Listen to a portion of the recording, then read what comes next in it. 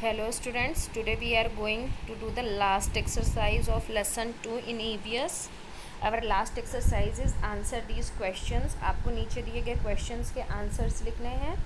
First question is what are the difference between a globe and a map globe और map में क्या difference होता है?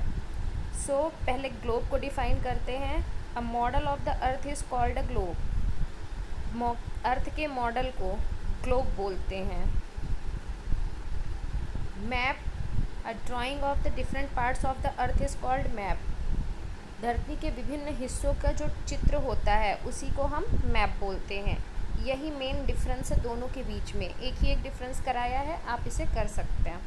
Second one is what are continents continents यानी महाद्वीप, क्या होते हैं? नेम देम तो उनके नाम भी लिखने हैं। मतलब इसमें एक क्वेश्चन में दो क्वेश्चन इंक्लूड है। पहला है व्हाट आर कॉन्टिनेंट्स कॉन्टिनेंट्स क्या होते हैं? दूसरा क्वेश्चन इसी में जुड़ा हुआ है नेम देम उनके नाम भी लिखिए।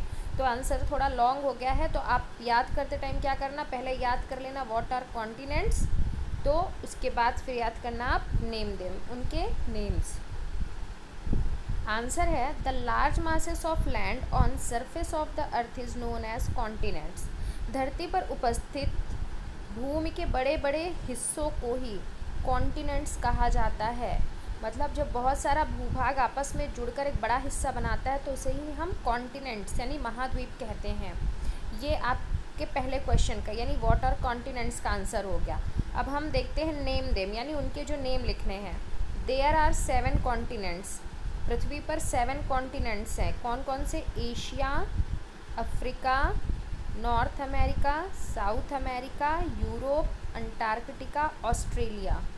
ये सेवन कॉन्टिनेंट्स के नेम भी आपको लर्न करने हैं। तो पहले आप ऐसे करना कि वॉट आर कॉन्टिनेंट्स का याद कर लेना। What are continents means the large masses of land on the surface of the earth is known as continents और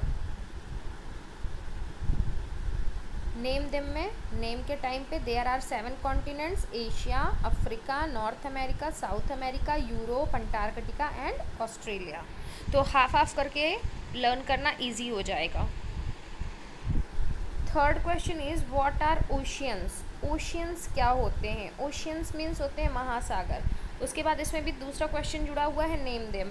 मतलब टू टू क्वेश्चंस जॉइंट है। तो पहला क्वेश्चन का आंसर व्हाट आर ओशियंस का आंसर क्या है? Oceans are huge water bodies present on the earth. They have salty water. Oceans, धरती पर उपस्थित बड़ी बड़ी वाटर बॉडीज़ हैं, यानी पानी के बड़े बड़े स्रोत हैं, जो कि अपने अंदर नमकीन पानी या खारा पानी रखते हैं। सॉल्टी वाटर मीन्स नमक मिला हुआ पानी। अब नेम देम इनके नेम बताने हैं। There are five oceans five oceans हैं।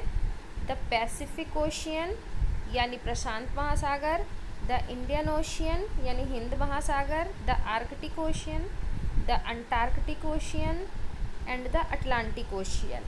इन तीनों के केवल इंग्लिश नेम ही हैं। तो आप इसमें भी यही कर सकते हो, जैसे आप कॉन्टिनेंट्स में करोगे कि पहले आप आधे क्वेश्चन का आंसर याद करना, फिर बाकी बचे आधे का। तो हाफ़ हाफ़ करके आपको ईजिली लर्न हो जाएगा। Next question is what is desert deserts क्या होते हैं? यानी मरुस्थल क्या होते हैं? रेगिस्तान क्या होते हैं? तो आंसर है dry areas of land which receive very little rainfall are known as deserts धरती के वो सूखे हिस्से, ऐसी सूखी ज़मीनें जो बहुत कम पानी जहाँ गिरता है, उसी को हम डेजर्ट्स बोलते हैं। सच एरियाज़ है वेरी फ्यू प्लांट्स ऐसे क्षेत्रों में प्लांट्स भी बहुत कम होते हैं। मतलब यहाँ पे पानी नहीं होता तो इसी वजह से यहाँ पे पेड़ पौधे भी कम होते हैं। लास्ट क्वेश्चन है how do we know that the earth is spherical in shape हमें कैसे क्लियर हुआ कि अर्थ का शेप स्फेरिकल होता है? पृथ्वी गोलाकार है? तो आंसर है when astronauts started going to the space जब एस्ट्रोनॉट्स ने, यानी कि जो स्पेस में जाते हैं, उनको हम एस्ट्रोनॉट्स बोलते हैं। जब स्पेस में जाने वाले लोगों ने स्पेस में जाना शुरू किया they took pictures of the earth from there उन्होंने वहाँ सर पृथ्वी की तस्वीरें ली। इन दिस वे इस तरह से it is confirmed that the earth is spherical in shape ये सिद्ध हो गया कि अर्थ जो है, उसका आकार स्फेरिकल है। ठीक है? You have to write this question answers in your book sorry book नहीं copy and you have to learn this also thank you